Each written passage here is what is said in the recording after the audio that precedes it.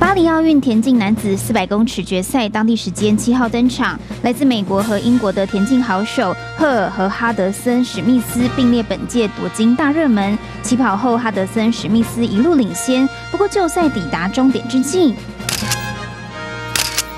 迎头赶上超前对手，以零点零四秒的差距击败对手封王，也跑出个人最佳成绩四十三秒四零。遭逆转超前的哈德森史密斯跑到终点后一脸错愕，虽然错失金牌，但还是以四十三秒四四的成绩拿下银牌，同时也刷新欧洲纪录。